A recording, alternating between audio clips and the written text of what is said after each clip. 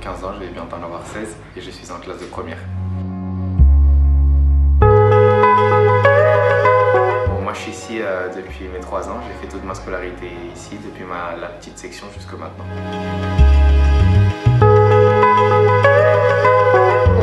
Moi avant d'être ici, je parlais pas le français, je parlais que le catalan et l'espagnol.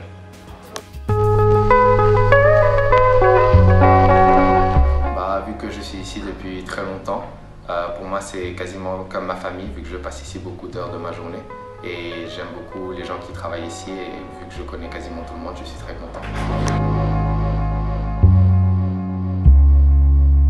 Euh, je pense que mes parents m'ont mis dans cette école parce qu'ils voulaient que j'apprenne une nouvelle langue et de plus ils préféraient euh, le système français que l'espagnol.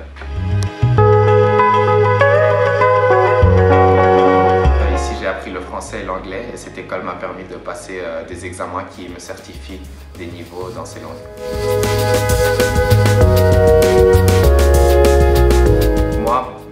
pas vraiment ce que je veux faire plus tard, mais c'est vrai qu'être dans cette école, ça me permet de pouvoir étudier en France et en Espagne. Et vu que j'habite en Espagne, mais j'ai aussi euh, fait mes études en français, ça m'ouvre plus de portes.